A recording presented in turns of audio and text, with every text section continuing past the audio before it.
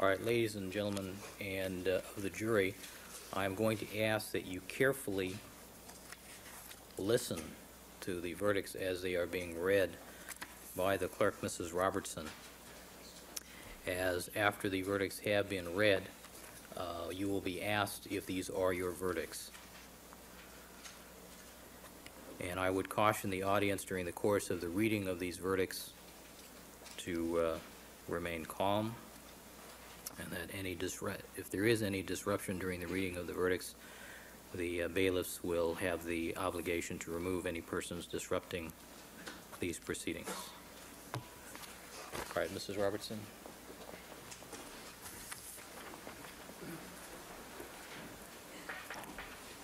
All right, Mr. Car- Mr. uh, Simpson, would you please stand and face the jury? Mrs. Robertson? Superior Court of California, County of Los Angeles, in the matter of the people of the state of California versus Orenthal James Simpson, case number BA 097211. We, the jury, in the above entitled action, find the defendant Orenthal James Simpson not guilty of the crime of murder in violation of Penal Code Section 187A, a felony upon Nicole Brown Simpson, a human being, as charged in count one of the information.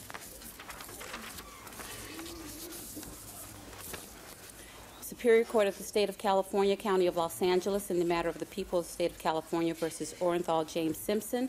We, the jury, in the above entitled action, find the defendant Orenthal James Simpson not guilty of the crime of murder in violation of Penal Code Section 187A, a felony upon Ronald Lyle Goldman, a human being, as charged in count two of the information.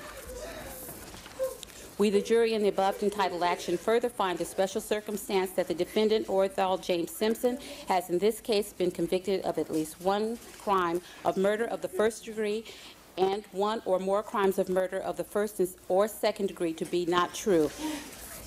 Signed this second day of October 1995, Juror 230. Ladies and gentlemen of the jury, is this your verdict? So say you one, so say you all. All right, counsel, Mr. Simpson, would you be seated, please? Let's have it quiet in the courtroom, please. All right, Mrs. Robertson, would you please poll the jurors?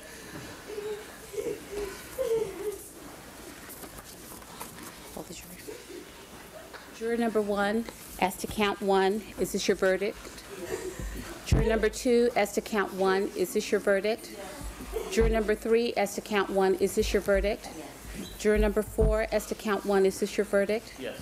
Juror number five, as to count one, is this your verdict? Yes. Juror number six, as to count one, is this your verdict? Yes. Juror number seven, as to count one, is this your verdict? Yes. Juror number eight, as to count one, is this your verdict? Yes. Juror number nine, as to count one, is this your verdict? Yes. Juror number 10, as to count one, is this your verdict? Yes. Juror number 11, as to count one, is this your verdict? Yes. Juror number 12, as to count one, is this your verdict? Okay,